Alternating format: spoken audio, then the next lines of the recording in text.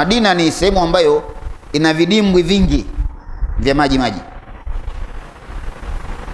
ndivyo ilivyo Madina. Sijui wenzetu wale kama washayapima ya kwao kama yana vimelea au au hayana, lakini ina vidimbwi vingi, wanatakiwa wayapime na wao wawezi kujua, kwa sababu maji haya ya vidimbwi vidimbwi mara nyingi yanakuwa na bakteria yakasababisha madhara kwa watu.